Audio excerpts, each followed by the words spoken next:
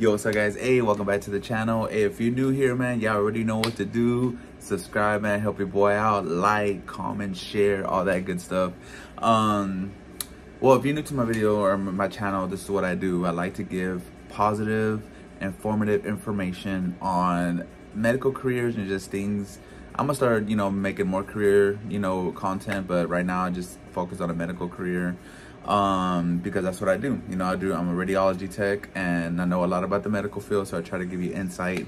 Um, but if you've been following my channel for a while, you you knew or you know that I've been going to barber school, and I just got done, and I just passed my state license. that's what I meant to say. So here you go.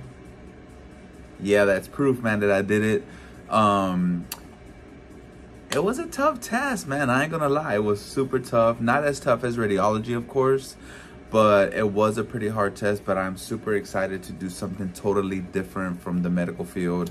I've been in the medical field going on, I think, 13 years, something like that.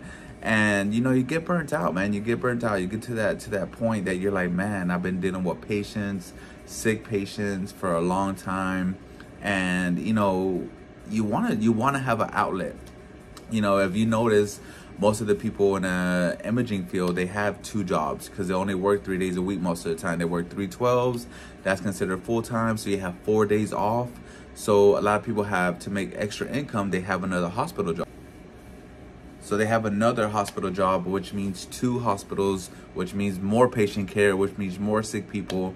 And there's nothing wrong. There's nothing about, you know, caring for sick people because that's where we got into the profession, right? To help people get better and things like that. But you yourself, you need a little outlet, you know, to make extra money and have something different, have a different passion.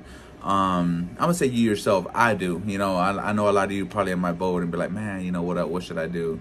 But anyway, guys, I'm super excited about this opportunity. I'm so glad that I passed um, my state board and stay tuned on my channel. I'll I'll try to give you um, updates and uh, my journey on how to cut hair. I don't know how to cut like that. Like I don't know how to open up my own shop. Be like, oh, I'm confident. No, not at all.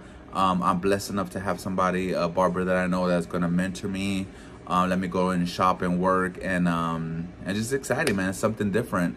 Um, anyway, guys, just thought I would share this with you guys since y'all been through my journey and you know uh, I help you guys out and I'm sure that y'all watch my videos. So thank you so much for watching. Thank you for supporting more videos. So y'all stay tuned.